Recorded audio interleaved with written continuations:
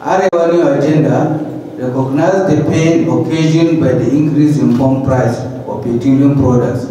Therefore, in the discharge of his avowed duty of championing the cause of the downtrodden in matters that affects the life, occasion it organized a two-day policy dialogue that, among other things, one is to appraise the subsidy regime in the procurement sales of petroleum products, take stock of the pros and cons relating to the removal as at the moment, and then provide recommendations and suggest solutions to ameliorate the current and future situation.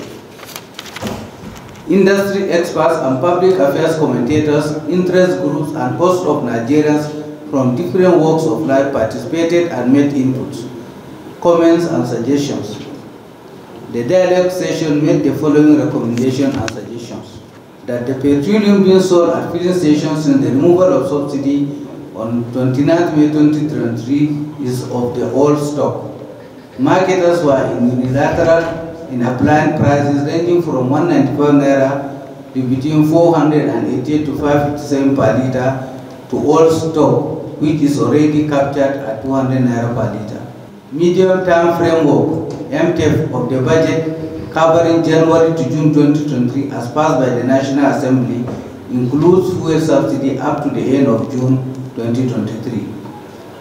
That there is a need to know what happens to the subsidy subsisting from May 29th to June 30th, 2023.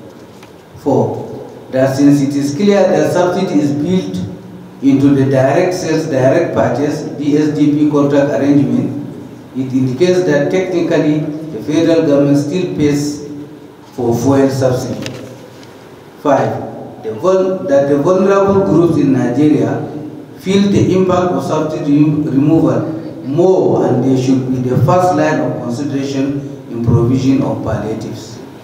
Six, that dialogue attendees support the decision of President Tinubu on the removal of subsidy and will do everything possible to help actualize the desire of improved life of the ordinary citizens.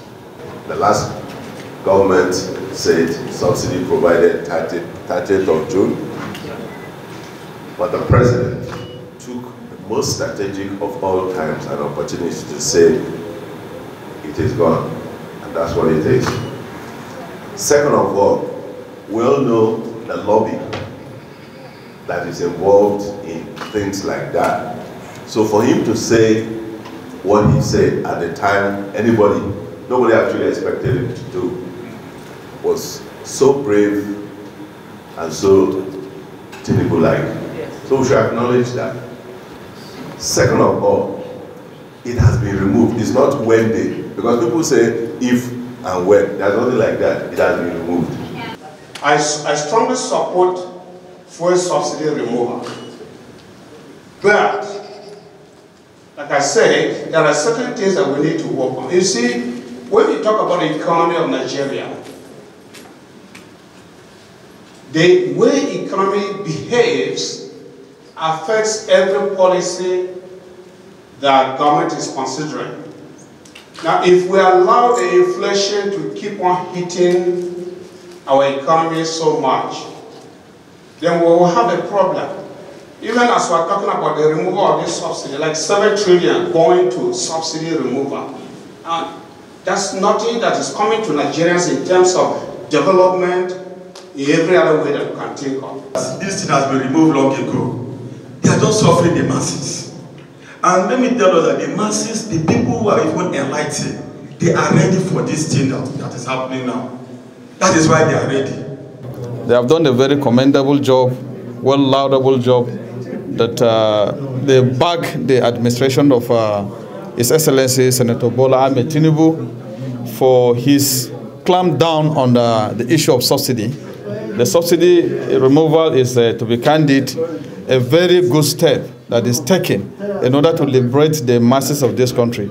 And no any other person could have done that more than uh, His Excellency Senator Bola Ahmed Tinubu. Just have to be patriotic enough to trust the government, considering the fact that um, this government has taken the bull by the horn because it's um, a policy that almost every Nigerians and even the three major candidates also uh, advocated. And so I'm still saying that uh, Nigerians need to be more patriotic in order for us to achieve the government and whatever they intend to do, considering the removal of subsidy, which they have, they have stated clearly that the money that should have gone into subsidy uh, will be channeled into a lot of uh, developmental projects that every common Nigeria will benefit from.